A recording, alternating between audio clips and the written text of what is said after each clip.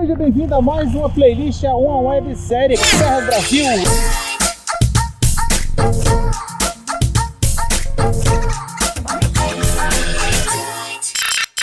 Bom dia, meus irmãos! Seja bem-vindo a mais um episódio aqui da playlist Serras Brasil. Começando aqui hoje, de aqui em Capão Bonito, aqui ó, no portal Rastro da Serpente, um ponto famoso aqui da região. Todo motociclista que vem pra cá tem que parar aqui, ver essa maravilha desse dessa energia de motoclubismo e motociclismo que tem por aqui, cara. Está fechado aqui agora porque é um domingo de manhã e e a galera foi até a noite ontem. Ai que bacana. Adesivos das tribos e trupes de todo o mundo, por que não dizer o mundo, né? E hoje temos novidade que a minha turma tá chegando aí. Já saiu lá de Rio Claro e aí eu vou esperar eles aqui pra gente seguir junto, começar as serras aqui a partir de Apiaí e a gente vai descendo aí mostrando as belezas do nosso lindo Brasil, não, não? A Chiquita tá preparada para moer o motor hoje? aqui ó, mochilinha da Saxton, perfeita, cara. Já falei dessa mochila aqui nos meus posts. Recomendo demais. Eu tenho duas mochilas da Saxon, né? Uma de 60 litros, que é aquela plataforma que eu usei para ir pro Alasca. E agora essa de 40 litros aqui, não tem coisa melhor, cara. Já pegamos chuva com ela aqui na, nesse projeto e sem falar na praticidade que é para carregar, né? Você não precisa mais vestir aquelas capas de chuva em cima da mochila porque vai chover. Não, ela é a própria capa de chuva, mano. Da hora demais essa mochilinha. E lembrando também que a Saxo é uma das apoiadoras aqui da playlist, né? Do, do canal YouTube aqui. Essa playlist Serras Brasil aí. Assim como também o Atacama Parts, que eu já falei do Atacama Parts. Olha aqui Atacama Parts aqui, ó. Me salvou a vida uma vez, ó. o Israel Motorhomes Artesanal e a Kawasaki Goiânia, que é a Kawasaki Avante Motos aí. Tá tudo aqui na descrição do vídeo, tá? Capão bonito. Uh, é bonito aqui, mano. Bora rodar. E para começar bem o dia, vamos abastecer aqui a Chiquita. Esse, esse abastecimento foi um oferecimento do Moto e Turismo por Lázaro Henrique. Obrigado aí, meu brother. 5,25 aqui. Já paguei 4,50. Aqui é 5,25. Tá valendo. E tá aí chegando o comboio, olha isso cara, que bonito, as motos na estrada, irmãos, olha isso parceiro, é muita gente cara, é muita alegria, irmão, agora sim vai começar a festa.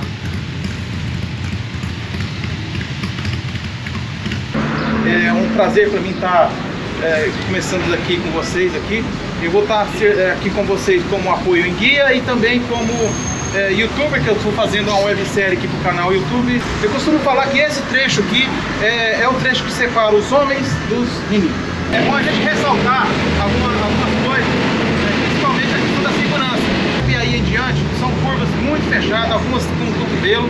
Aqui, inclusive, no portal tem os 10 mandamentos da curva, eu não sei se vocês chegaram a ver, mas as principais são é, é claro, a velocidade não, vai, não tem como correr num lugar desse. A segunda é você andar sempre em fila indiana, mais distanciado possível. Nada de dupla, por favor. Né? A gente sabe que vocês têm experiência na, na estrada também. É, é considerado uma das rodovias mais escorregadias do Brasil. Por quê?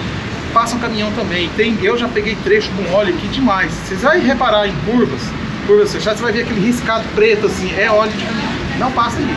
Outro que não vai passar, pista nas faixas, aquela faixa lisa. Areia tem também, porque chuva, chuva leva terra para a pista e areia. E é isso, no desenrolar do tempo eu quero conhecer cada um de vocês, por que está aqui e como está sendo a sua experiência. Alguma pergunta, irmãos? Bora rodar? Bora rodar!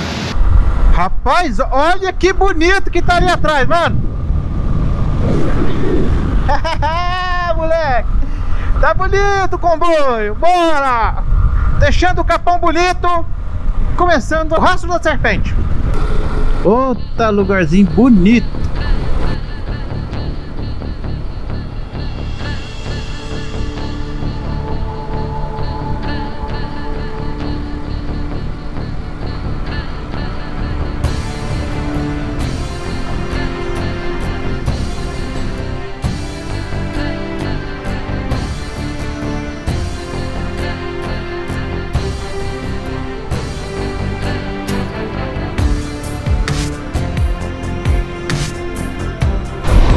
Eu amo Guapiara. Como é que não ama?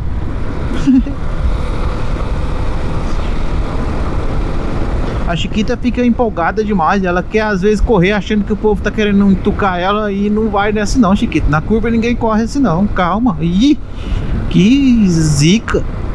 Pode ir mais devagar um pouquinho aí, ó. Espera a turma. Meu Deus do céu. Copiaram de novo. Eu amo. É muito charme, parceiro. É muito charme. É o que eu sempre falo. Quanto mais pro sul, mais longe da Nicarágua. não, e ainda não é a serra top que depois de Apiaí. Espera, parceiro, espera.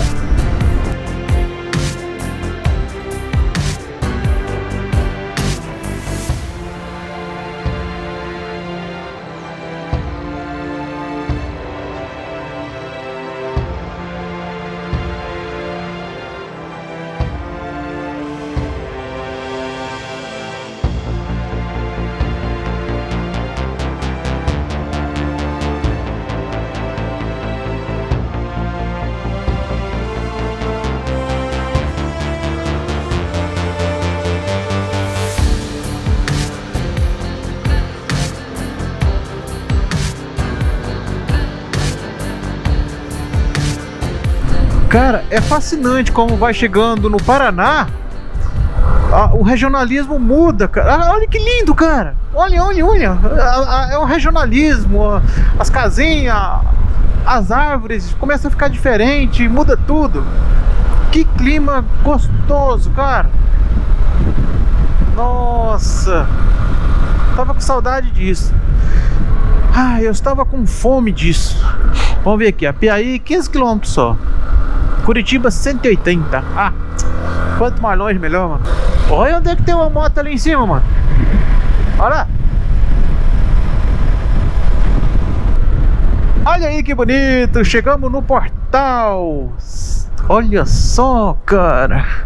A Piaí, portal da Mata Atlântica. Que bonito, que bonito.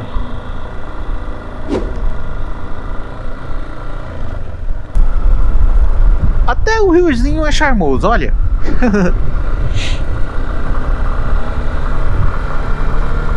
Vixe.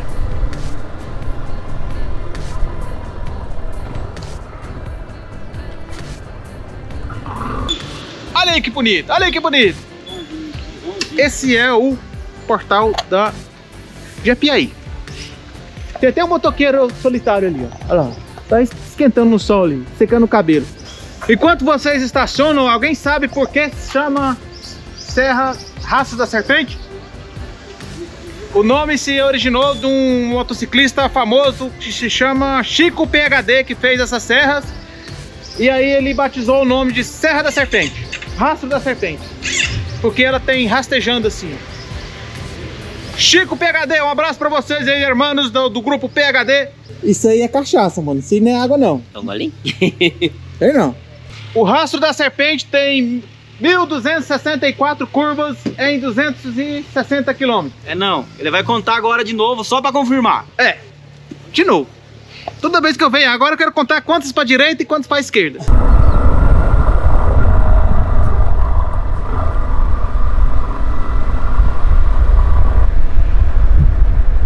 A turma tá almoçada. Ali tinha um trenzinho bonitinho, cara, andando ali, assim, ó, desse jeito. Que massa, é porque ali, ó, tem uma cimentaria. Uma fábrica de cimento.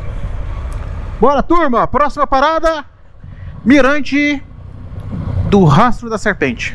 Eu vou depois mostrar para vocês, apresentar um por um, tá? Vou mostrar as motos da galera aí. Também vou explicar como é que funciona o, o passeio, o comboio. Com o passar aí da playlist a gente vai abrindo, né? Vai falando pra vocês aí, né? Ô, oh, beleza. Deixa eu dar um zoom aqui que eu estraguei o trem aqui agora.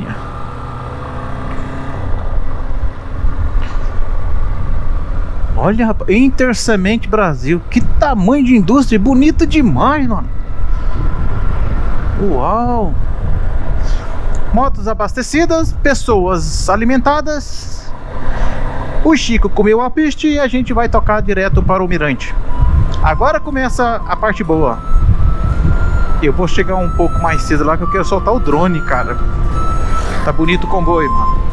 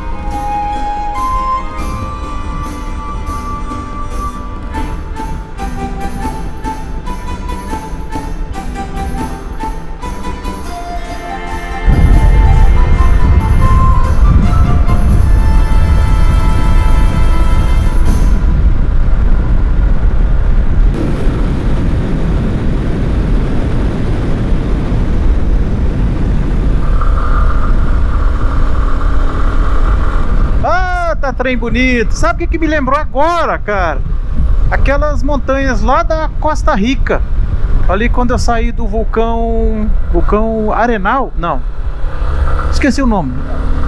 E fui ao Pacífico. Desse jeito assim, ó. O clima, regionalismo. Só que tava chuvoso e frio, né? Montanha, altitude. Nossa, isso é vida, cara. Olha isso, cara. É inspiração. Sinta tudo isso.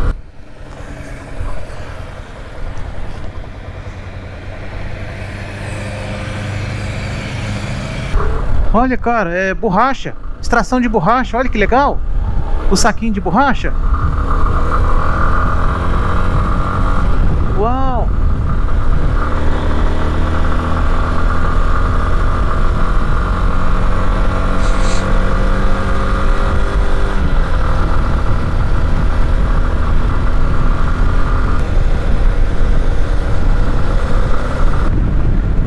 Olha, olha, olha, olha, olha, olha, olha.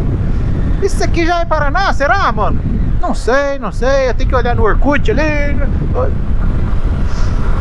Nossa, sangue de Jesus tem poder, mano. Olha isso, olha essa árvore aqui, cara. Que coisa mais chique. Então, olha isso, cara. Olha, olha, olha, olha, olha, olha. Dá vontade de pegar aqui e levar pra casa, ó. Nossa.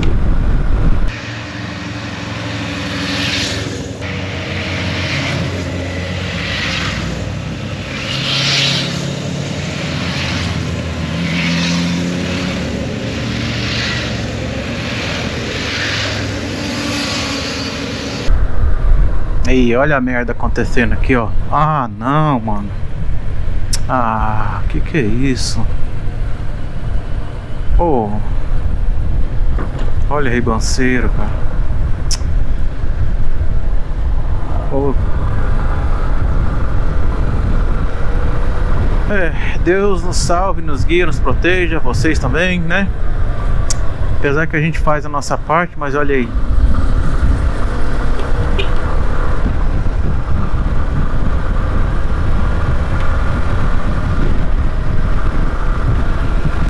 Eu acho massa é essas cidades aqui no meio do das serras, assim, ó, pela pela serra.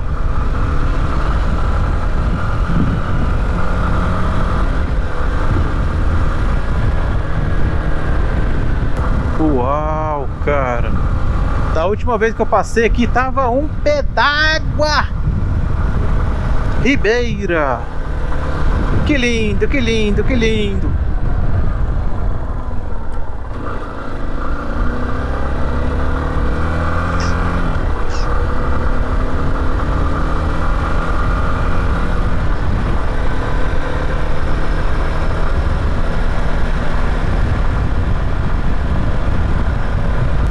Olha que bonito, cara. Nossa senhora. Sabe o que isso aqui me lembrou? Vietnã. eu lá veio um presente com essas histórias bizarras. É, mano, eu ia lá. Lembra aquelas vezes que eu ia dar a volta ao mundo aí, meio que a pé e tal, mochilão? Eu ia lá, eu tenho salvo, cara, todos os lugarzinhos top lá do Vietnã que eu ia passar lá, fazendo mochilão. Inclusive ia alugar a moto lá, pra ir fazer uns trechos. Lá tem altas é, roteiros motociclísticos O pessoal do mundo inteiro vai pra lá fazer esses trâmites, sabe? É bem bacana. Eu esqueci o nome lá. Tem duas, dois roteiros famosos lá. Nome vietnamita lá, que não dá pra lembrar agora não. E aí é isso aí, ó. O aluguel de moto lá, cara, na hora que eu tava. Quando eu tava pesquisando, era 25 dólares a diária. Não, 15 dólares a diária. Olha isso, cara, quilômetro zero da 476. Uau! É a divisa de Paraná com São Paulo. Seja muito bem-vindo a São Paulo, a, ao Paraná. Eita, nós, mano. Que da hora, cara. É aqui, mano. Adrianópolis, Paraná. Aí, oficialmente no Paraná agora. Uau, uau. Eu amo Adrianópolis. Como é que não ama? Olha, morar num lugar desse. Pegar uma chiquita e lá em cima. Tudo lá em cima lá. Opa, olha o pinga-mola aqui, ó. Olha, que bonito. Olha, olha, olha, olha. Cara, a minha moto tá raspando o pneu no, no paralama, cara. Que merda. Lembra que eu troquei a. Eu abaixei a suspensão 6 centímetros? 6 centímetros? Como é que fica, ó? Aí, viu? Que merda. Posso ficar fazendo isso não. Eu tô. Tem que ir balanceando a coisa. Até chegar lá em Goiânia eu vou voltar. Não quero isso não. A moto fica ruim e nesse sentido, fica pegando às vezes quando você dá um, um solavanco, né? E quando você vai colocar no descanso central, fica ruim também.